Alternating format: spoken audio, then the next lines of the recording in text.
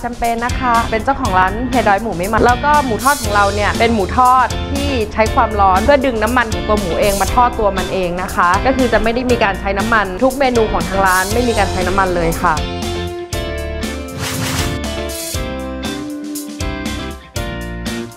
เซตหมูเฮียดอยนะคะก็คือเซตใหญ่สุดนะคะ หมูสายเปก็คือจะทานได้ 6 คนนะคะ ราคา 349 บาทเท่านั้นนะคะ มีโปรโมชั่นอยู่ถึงสิ้นเดือนกุมภาเลยค่ะ แล้วก็เซตลองลงมาลองเฮียดูนะคะ 180 บาทค่ะ ทานได้ 3 คน เซตทานคนเดียว หมูเหงา หมูเปลี่ยวอะไรเงี้ยค่ะ เริ่มต้นตั้งแต่ 80 บาทค่ะ